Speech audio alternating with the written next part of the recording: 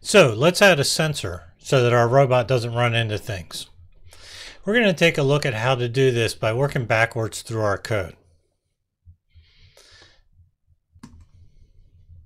So let's take a look at the wheelie code.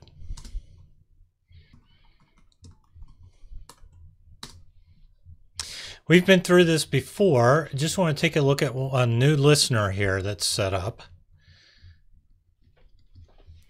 And this is this range subscription. We're going to focus in on this one. Uh, if you recall, we had a set motor speeds function here that actually was the heart of setting how fast all the wheels go.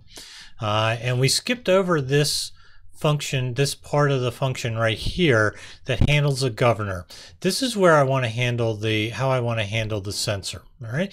So I create this governor that's allowed to slow down the speed of the wheel. In the end, um, we multiply the speed of, of the left and the right motors just by this governor factor right? And this is driven by uh, these two attributes off of the wheelie class, self.stop and self.close. The intent is that uh, we want the wheelie to stop moving. We want the motors to turn off when uh, we're within this stop distance. And we want the wheelie to start slowing down when we're between close and stop. So if you think about that, as I get closer to, uh, uh, my, my sensor says I'm closer to something, uh, then I'm going to start slowing down until finally I get within the stopping distance and then I'll stop. So it's pretty straightforward, just simply uh, creating this governor from zero to one, uh, which is how much distance I have left until I stop, and then multiply each wheel by that percentage. All right, uh, so let's take a look at the stop start. That's all the way up here in the initializer uh, where I set the self dot uh, stop and close functions. So uh, as you remember in, in ROS, we're using standard units. So this is meters. So when I, when I get within 0.3 meters, I'm going to start slowing down. And when, when I get within uh, 0.1 meters, 10 centimeters, I'm going to actually stop. So I shouldn't get any closer than that. Um, okay, so now the question is, how do I actually recognize how far away I am. And that's what this callback we just saw, uh, which is the range callback. So you can see here, uh, this has, there's a range callback that's a range subscription, create subscription. Here's the type of object we get, which is a range object. Uh, and then that's going to listen on the range topic. Uh, and the callback itself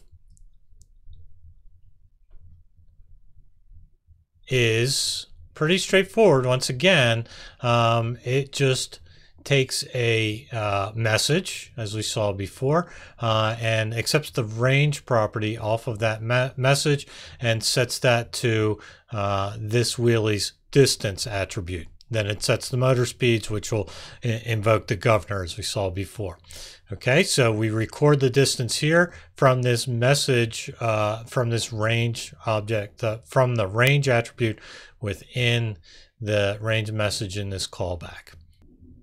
So now we have to find out where that range topic is actually set up. That's in another process. Uh, that's actually set up in this sensors.py script. So let's take a look at that.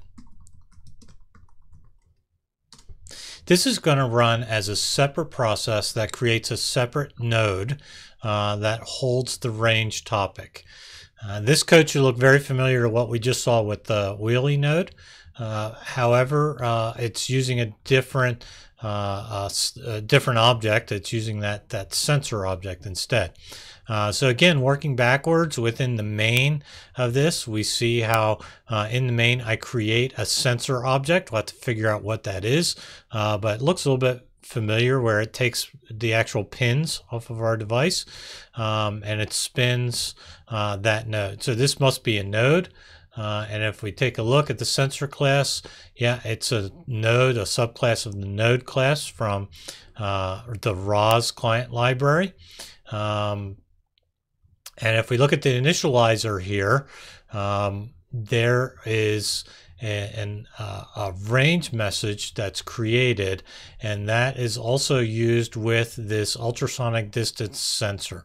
All right, so let's start by looking at the range message. Uh, that's the type of message that we just saw being received by our robot. Uh, there's a few constants in here that we have to set up. Uh, that has what's the min and max range that I can measure and what the angle is and so on. Um, and that's all included in this range message. The only thing we took off of the range message, however, was the actual distance that it measured. Um, and if we look at the callback, Here's our callback function here that just simply calls the measure function off of our ultrasonic distance sensor. We'll have to see how that distance sensor is created, uh, but um, I just, again, just have that sensor actually measure what my distance is. Let's take another look at this initializer here. Uh, the initializer, after uh, everything's set up, calls this start function, which uses this create timer. All right, so um, if I notice this structure is a little bit different from what we saw before, because instead of creating a listener that responds every time I get a callback, uh, every time I receive a message, uh, this case we're creating a publisher. Uh, and the publisher uh, is going to publish periodically. Uh, so it doesn't initially pu start publishing. I create all the infrastructure I need, all the setup that I need up here in the initializer. But when I call the start function, this calls the create timer method of the node class. So now within ROS, I'm going to use the ROS timer. Uh, again, those timers are going to be using uh, when my node is spinning. Uh, so that timer is going to uh, at this frequency, so uh, every one over frequency second, so the, in this case it's 10 times a second, um, it's going to execute the distance callback, which we just saw. The distance callback just looks to uh, the uh, figure out what the distance reading is off of our distance sensor.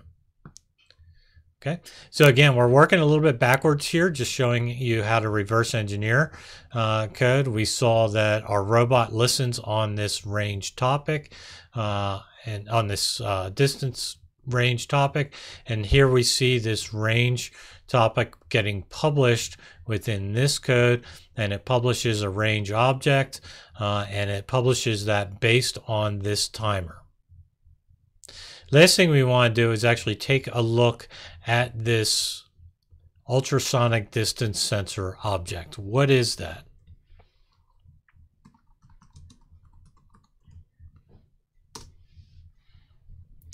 This one, yeah, again, this is similar to what we saw with the motors. This specifically works with the Raspberry Pi.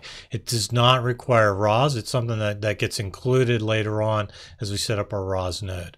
Uh, so this is uh, tied to the to the electronics of putting uh, the robot together.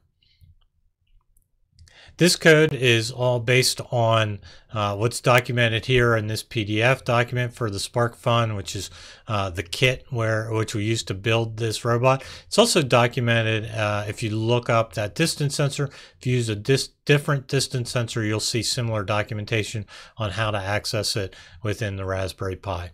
Essentially, I have a Echo uh, pin and a trigger pin.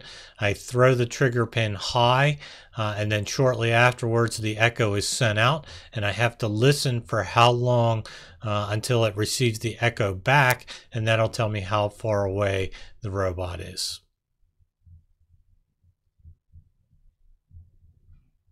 So this is the code again that comes pretty much uh, uh straightforward, comes from the documentation that comes with our sensor. Just to take a quick look at the physical components of the sensor, uh, here's a close-up shot of, of what the sensor is that's connected to our robot. There's a power supply, high voltage, and ground. Uh, and here's the trigger and the echo pins that I connect to the pins of my Raspberry Pi. And again, when I send the trigger pin high uh, for at least, I believe it's 20 uh, microseconds, then shortly afterwards, the transmitter over here is going to send out an ultrasonic pulse and then it's going to wait uh, until that pulse is received back over at this um, microphone essentially over here. All right, so this sends and this receives, and then uh, after the trigger, shortly after the trigger is uh, set high, the pulse is sent out, and when it's sent out, the echo goes high, and echo stays high until it's received back. So you'll see that emulated in the code. All right, so we've got all our code put together uh, and we've got it uh, all plugged into the robot. I'm going to go ahead and start the robot up uh, with all the nodes that we want. So the first one that I'm going to want to set up here uh, is to set is to uh, start up that sensor uh, node. So I'll let that start spinning, and then I'm going to take another prompt and I'm going to start to start up the robot itself. The robot's going to be listening on that sensor topic to find out how far away it is. Uh, and then uh, I'm going to run my Joy node once again on my laptop. Okay, so everything's all put together. I have three separate processes running. Uh, one on my laptop, that's uh, where my joystick is connected to, uh, and then two on my robot. One that's just for the robot sensor, and then one that controls the wheels. All right, so let's see if we can run into things or if our sensor is now working to prevent us from hitting stuff. Okay, so let's see how this performs. We'll take a look first, just simply driving the robot around a little bit. You see that's working out fine. Uh, you see I have a computer set up as an obstacle in the middle of the course here. All right, we're to drive a little bit and see it's working okay. Now I'm to try and run into that computer. As you see, I'm trying to go full force, doesn't work. I can still twist. That works out fine. I just can't run into it. So there you have it, folks. We've put together our own robot using only open source software. You've learned how to use ROS, the robot operating system, how to control things with your Raspberry Pi, how to add sensors onto your robot, put it all together into an event-driven model. So it's been great having you. Uh, look forward to hearing a lot more about your robot stories. Again, my name's Sid Faber. I'm from the robotics team at Canonical, the company that produces Ubuntu. Feel free to reach out to Canonical Robots if you have any questions to follow up.